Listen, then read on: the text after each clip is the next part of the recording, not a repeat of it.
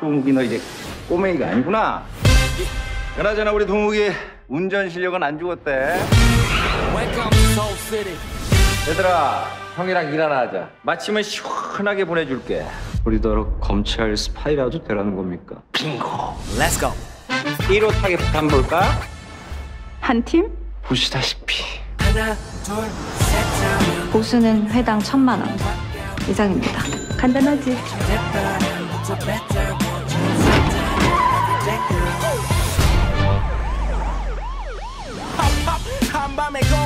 어느 때보다도 빠르고 정확하게 날 다녀와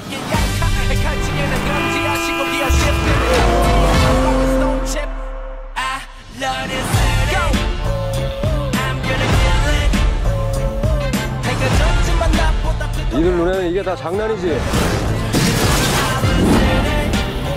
악셀 한번 밟으면 끝까지 갑니다 좀. Baby,